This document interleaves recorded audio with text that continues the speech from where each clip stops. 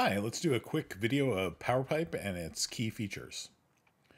First thing we're going to do is initialize the current directory as a mod directory, and then we need to install a mod to get started. So what mod should we install? Well, let's go out to the PowerPipe hub, find this AWS compliance mod, copy and paste the URL in, and it's installed.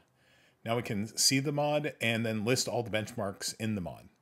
Uh, running the PowerPipe server opens up a local web page running locally from my machine, and you can see all of the different benchmarks that are available. Here I'm running the CIS 3.0 benchmark, and we can see across multiple accounts here how it ran very quickly and is showing us the results in our environment.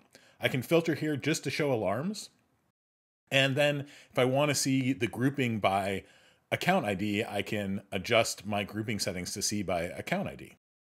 And you can see below the account ID, I still have all the detail of each of the CIS control benchmarks. Resetting this, and then let's go back over to our CLI.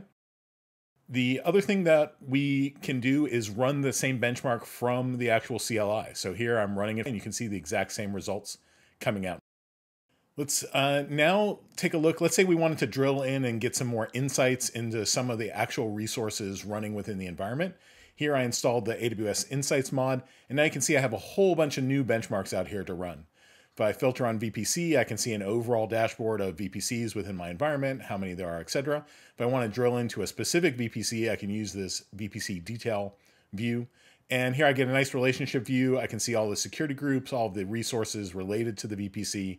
And then I can actually drill down through to an existing security group. That security group, I can now see its relationships to its parent VPC, as well as what uh, instance it's attached to.